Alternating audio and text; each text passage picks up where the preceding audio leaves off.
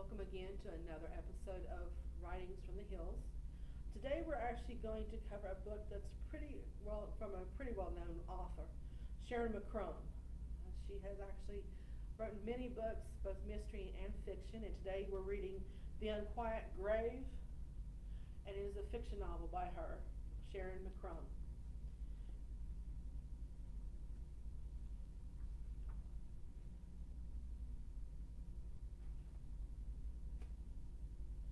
Special thanks should also be given to Atria Books for permitting us to read this novel for our program.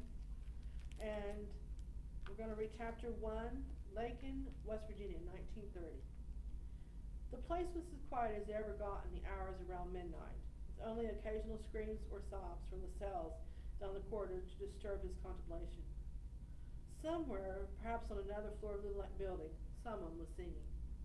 He was standing at the window as he always did at that time of night, hands resting on the bars, his face pressed against the wire reinforced glass, as if the cool night air could waft him away.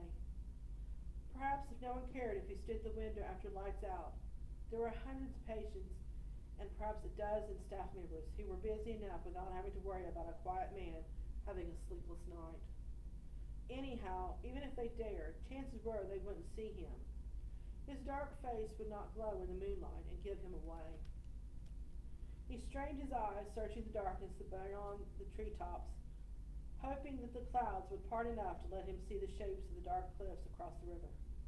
That was the Ohio, over there. In his parents' day, back when this place was still part of Virginia, that side of the river would have meant freedom. But that had changed now.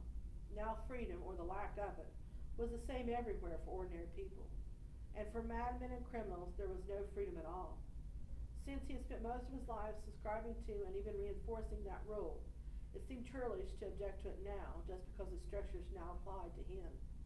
Those who are of danger to themselves or to others must be restrained. He could never see the river itself, it was nearly a mile away, beyond the fields on the other side of the road. Except in the dead of the winter, the trees blocked the view, and then the steep embankment obscured the water. At least he knew it was there, though, and the broad, dark waters of the Ohio rolling onto the Mississippi and onto its freedom in the Gulf. He would have liked to see that confluence, following it even, all the way to the journey's end. The puny little rivers where he came from, in the eastern part of West Virginia, were a patch like on this one. Why, except for the spring floods, you could wade across most of them. What was the point of being here so close and not getting to see the river? What was the point of being here anyhow? It wasn't if they could help him. If he had been delusional, perhaps they could have led him back to reason. But I always thought that his problem was seeing the world too clearly. From somewhere down the hall, a loud scream pierced the stillness. One of the old men was either hallucinating horrors or remembering real parts of his past.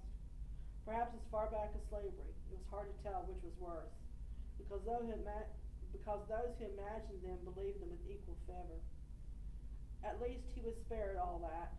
He spent a long time at night with his face pressed close to the window, and when he finally fell into bed, he did not dream. He wished he could be, could either become entirely sane, or else very much more mad. A delusion that transported you right away from the unpleasant realities would be more a blessing than affliction, it seemed to him. Let him drift away on a current madness into a dream world where he was young again, where his gentle Liza or his successor clever or successor clever Alice was still alive and well, or better yet, some kind of kingdom out of a fairy story in which the world was entirely different from anything he'd ever known. Let there be talking horses and penny candy stick trees and gold rivers of bourbon. He sighed. None of those fantasies particularly appealed to him any more than the real world, world did just now. He had plenty, he had spent his life in the profession of law, not a discipline that encourages practitioners to be fanciful. He had always considered an excess of dignity and a dearth of imagination to be a positive qualities of his character. But unless madness conferred its own artistic inspiration, his temperament made him ill equipped to enjoy the benefits of delusion, and his lifelong habit of reserve would have held him back anyway. He was forever an observer, and one day he decided he had seen enough and wanted to leave. Yet here he was. His own particular form of insanity was to see the world exactly as it was and to despair in silence. That is a selection from The Unquiet Grave by Sharyn McCrumb.